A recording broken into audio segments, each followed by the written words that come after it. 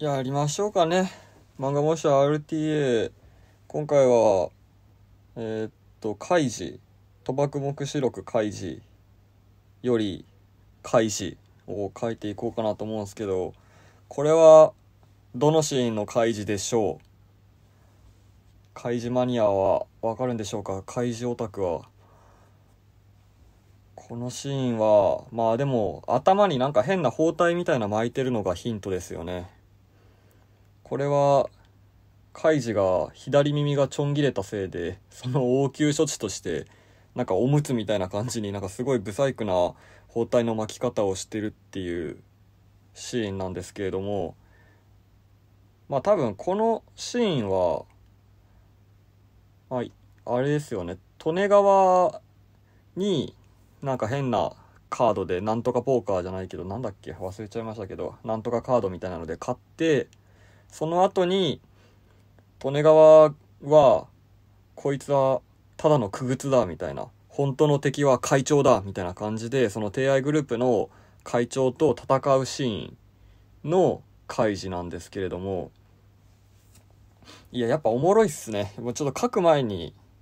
さらっと読んだんすけどここのシーンを思い出そうと思って。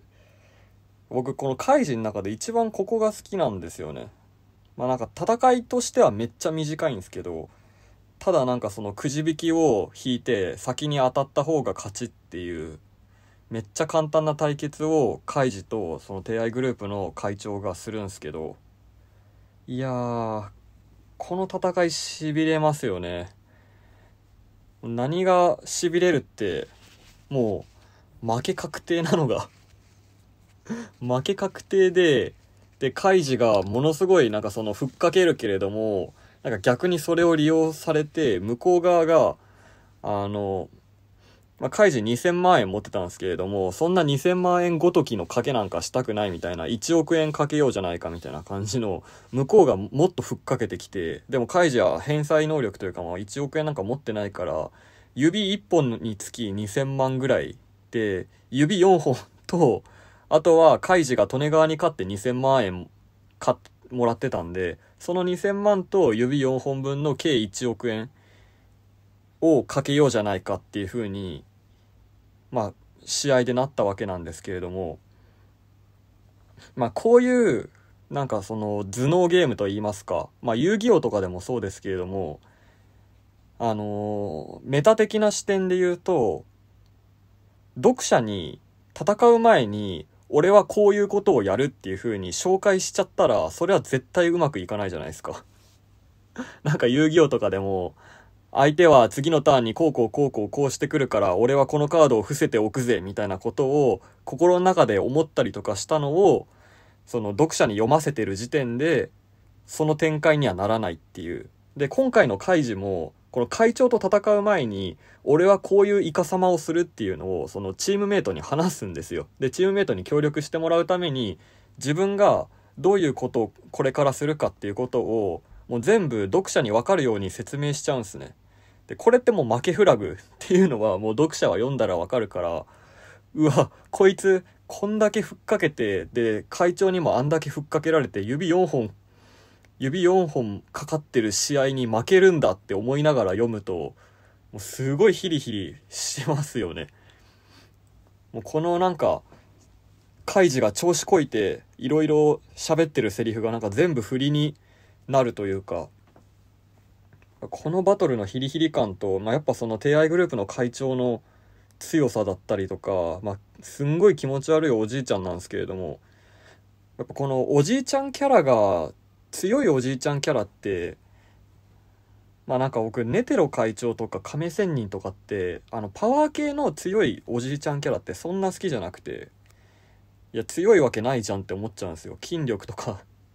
まあその運動神経とか、そういうパワー、パワーでのおじいちゃんっていうのは、まあでも念能力とか気とかっていうような、まあ説明はつくんですけれども、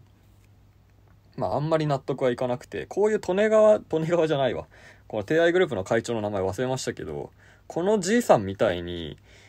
なんか単純にその今まで修羅場を通ってきたから、老快さを身につけてるっていう、そういうなんか人生経験っていうので、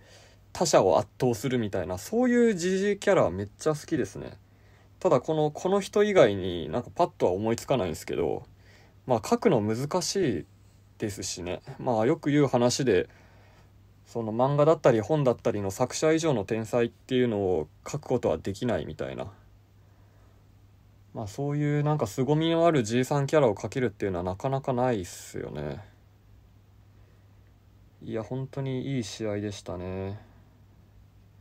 でこのカイジの面白さって僕なんかこういうライアーゲームだったりとかこの頭脳バトルみたいなまあデスゲーム系とかもそうなのかもしれないですけれども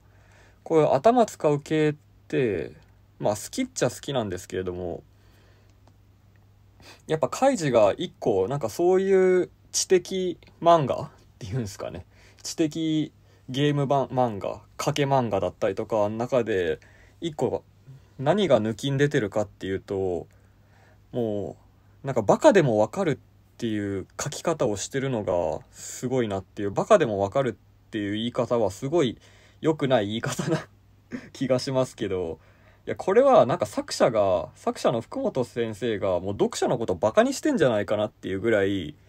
同じ言葉を何度も言うんですよ。もう手を変え品を変え。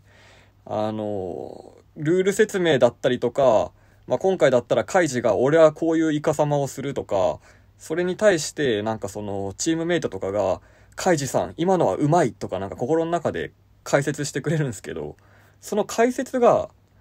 他の漫画だったら割とサクサク進むんですよそういう解説だったりとかナレーションみたいなのが。でまああんまり理解してないとなんか理解できないままさらーっと流れちゃってでもそのゲームが全部楽しめないみたいななんか前提前提条件みたいなのをまだ読者側が飲み込めてない間にゲームがどんどん進行しちゃって置いてけぼりにされちゃってなんかこのなんとか編面白くなかったなみたいな。そういうことってなんかその知的ゲーム系の漫画で割とあると思うんですけど今回のゲームはなんか外れだなみたいな感じで読んでくみたいな。カイジはあんまりそういうことなくてっていうのはもう説明だったりナレーションが めっちゃくどいんですよ。もうバカにもわかるようにまあ同じ言葉を何度も言ったりもするしまあ同じようなニュアンスの言葉を面白い言葉でなんか違う言葉に言い換えて言ったりっていうようなもう本当にもう、な、なんでしょうね。だから5ページぐらいかけて、なんかすごい、ただ一つのことを説明してたりとかするんですけれども、ただもうワードセンスがめっちゃいいから、それになんかあんまり気づかずにさらさら読んでるけど、まあ、もしかしたらもう本当に読者が相当のバカだっていうことを想定しながら福本先生は書いてるのかもしれません。でもそれをなんか全然飽きずに読めるっていうのもやっぱすごい才能ですよね。なんか岡田敏夫さんかなんかが言ってたような気がしますけどキングコングの西野さんはめちゃめちゃ熱く喋ってなんかなんかの公演で15分ぐらいしか尺がないところをまあ45分ぐらい一人でずっと永遠と喋ってたけど情報密度はめっちゃ薄かったみたいな 同じようなことをなんか俺土地もろてんすごいやろみたいなことをなんかいろんな言い回しで何分も何分も喋ってたみたいな。だから情報密度薄いけれども聞いてる側はなんかそれを感じないぐらいなんかのめり込んでてみたいな。だからセミナー、自己啓発セミナーだったりとか詐欺師の手口ってすごいなっていう風に岡田さんが感動したみたいなことを言ってた気がするんですけど、カイジもなんか割とそういう、読んでる側はなんか気づいてないけど、めちゃめちゃ同じことを何度も刷り込んでくるっていうのが、読んでるうちに快感になりますよね。そういう、その、手口自体はあんまり意識しないで読者は読んでますけど、このなんか同じことを何度も違う面白い言葉で説明してくれる感じっていうのはすごいなんか新鮮な読書体験漫画読み体験って感じがしてまあ謎に体言止めとかも多かったりしますしね。いや本当におもろいっすよね。変なびっくりマークの使い方だったりとか。そう変なびっくりマークの使い方っていうのは、まあ、例えばなんかその勝つ。勝てば1億2000万。勝てば再生みたいなことをカイジが心の中で言うとするじゃないですか。その時に、なんか普通だったら、なんか勝つ、ちっちゃな2、びっくりマークとか、勝てば1億2000万のすぐ下にびっくりマーク来ると思うんですけど、まあ、カイジってなんか、まあ、カイジのキャラクターってみんな、その、セリフの後に3点リーダーがめっちゃ続いて、その3点リーダーの最後にびっくりマークが来るんですよ。だからなんかその、セリフの中に間があるというか、しかもその、勝つの、もう、つのすぐ後ろにびっくりマーク来たとしたら、なんか大声で喋ってるような感じとかもするじゃないですか。でも、勝つの後に、3点リーダーが、てんてんてんてんてんてんてんてんてんで、最後にびっくりマークとかって来ると、別になんかびっくりマークで強調はされてるけれども、大声出してるわけではないっていう。なんか、意気込みがあるようなセリフというか、その、真剣に言ってるセリフっていうような感じは伝わるけれども、別に声量はなんか音圧があるわけではないっていうか、まあ間を作ってるってことですよね。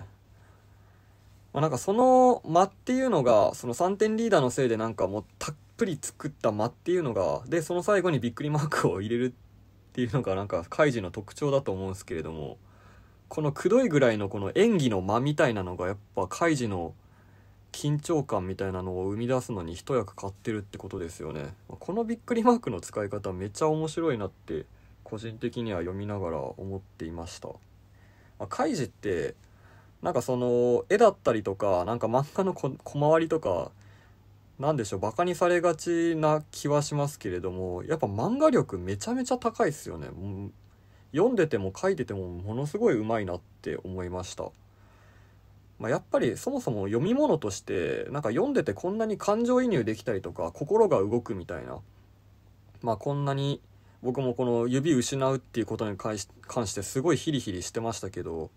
こんなにその読んでる人間の心が動いてる時点でまあ相当すごい読み物っていうことですよね。本当に普通の漫画とか普通の小説だったら心一切なぎの状態で何も上下動かないですからね別に上に上振れるのも下振れるのもどっちでもまあすごいとは思うんですけどももうカイジはまあ本当に両極端と言いますかまあなんかもう0から100とかじゃなくて、マイナス1000からプラス1000とかっていうような振れ幅めっちゃ広いっすよね。まあ、そこら辺もやっぱ、まあ、それがまあギャンブルの醍醐味みたいなことなのかもしれないですけれども、そのギャンブルの醍醐味がそのまんま漫画的な面白さに注入されてるってことなのかもしれませんけど、いや、おもろいっすね、カイジ。で、絵のことをなんか全然話すの忘れてたんで、まあ、今更ながらなんかちょっと話をするといやカイジなんかすごい特徴的な顔をしてますよね。僕なんかこの鼻が高いってものすごいいいなって思ったんですけれども、まあ、鼻を描くだけでだいぶ他のキャラクターと差別化できるっていう話はしたんでしたっけ？どっかで。あの日本のアニメだったりとか漫画だったりっていうのはあんまり鼻を描かない文化ありますよね。まあなんか点で済ますみたいな感じで鼻を描いたらまあブサイクになりがちだからまあ目とか口とかは結構いろんな表現が研究されてきたけど鼻はそんなにまあリアル寄りの絵を描く人は鼻を描くけれどもまあなんかかなり省略されがちな、ないがしろにされがちなパーツな気はしますけれども、まあ鼻をもう特徴的に描くっていうことを確立させた人はもうその人の絵柄っていう感じがしますよね。まあ、手塚治虫先生の、まああのなんか、自分の鼻の大きさがコンプレックスだったからなんかキャラクターも鼻でっかくしたとかっていう、あの手塚治虫パナもそうだし、まあ、鳥山明先生とかのあのカクッとした角鼻もそうだしアンパンマンとかはまああれは花というのかわかんないですけれども、まあ、柳瀬隆先生の花のアンパンマンの花とか、まあ、あとはカイジの花この高い花っていうのも、まあ、この花描いちゃった時点でもあカイジの絵柄だなっていう風になるっていうのは、まあ、すごい発明ですよね。だからなんかもう